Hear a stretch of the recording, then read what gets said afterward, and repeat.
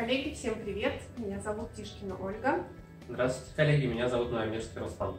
И мы здесь, чтобы пригласить вас на наш семинар по дентальной травматологии. И аутотрансплантации зубов. Этот блок будет также включен в наш семинар.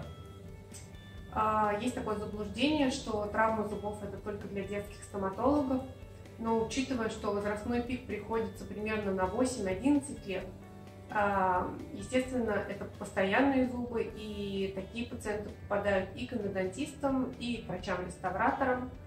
Мы также не мыслим свою команду без ортодонтов, поэтому на своем семинаре целый блок посвящен ортодонтии после травм, и в том числе для пациентов, у которых в анамнезе была травма. Мы расскажем и о сроках, и об особенностях ортодонтического лечения у таких пациентов – как обойти эти травмированные зубы, ведь многие боятся, будем говорить, э, трогать такие зубы.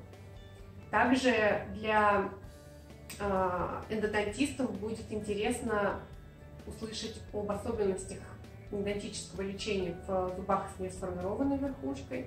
Мы разберем все виды повреждений, и переломы, и вывихи, и особенно как действовать при полном вывихе, где буквально есть 20 золотых минут – чтобы каждый из вас знал точно, что делать, уверенно себя вел в таких стрессовых ситуациях. Ведь эти пациенты чаще всего приходят вне записи, то есть достаточно экстренно.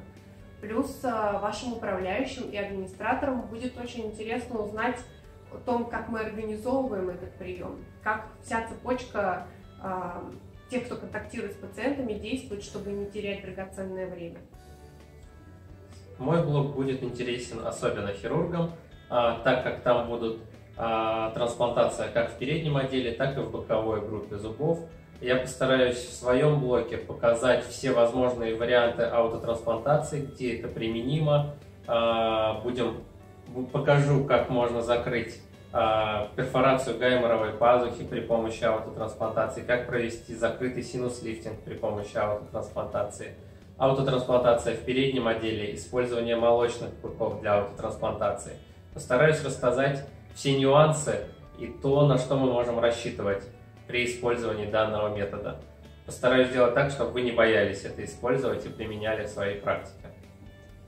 А, я думаю, что наш семинар будет очень полезным, учитывая, что порядка 350 тысяч ежегодно в нашей стране а, возникает вот этих вот травм.